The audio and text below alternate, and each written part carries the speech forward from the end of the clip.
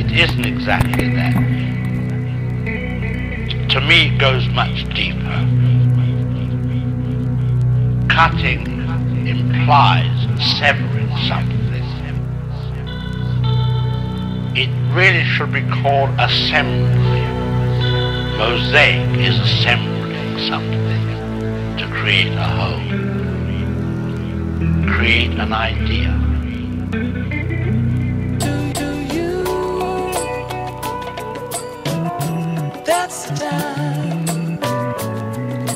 Feel like making dreams come true.